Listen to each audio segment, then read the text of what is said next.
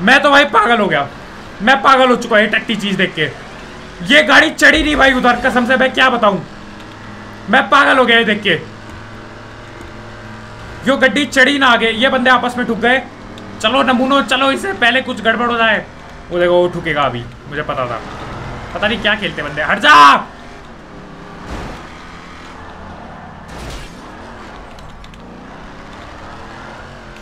Come on गलत वो हो गया यार गलत मामला हो गया उधर। फुल रफ्तार जाना था यहाँ पे। तब होगा। चलिए चलते हैं। चलिए शुरू करते हैं।